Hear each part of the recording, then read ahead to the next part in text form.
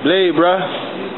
Look, look, look, look. This is gonna be a little quick interview, real quick. We heard this song, quarter of a century. You see, you did your thing. It was my first time actually hearing it live. Nigga, like really, really felt that song. Okay.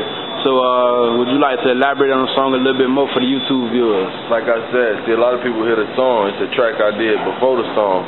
You got to get the gutter mix, volume three. It's track ten. I'm explaining where the song came from. Like a lot of time, nigga have a lot of shit on their mind. Like you see right now, I'm in this bitch over here by myself. So when you be by yourself, you think about a lot of shit. You feel me? That's all I did. I just let it out. Like niggas walk around, fly fresh, whatever. You feel me? They got they fresh kick, dubs on the whip, whatever they got. You feel me? You can see the outside, but you'll never know what's inside the motherfucker head. So that's all I did. I just put it on the track. Like shit I don't really talk about, I just let it out. That's that. Okay.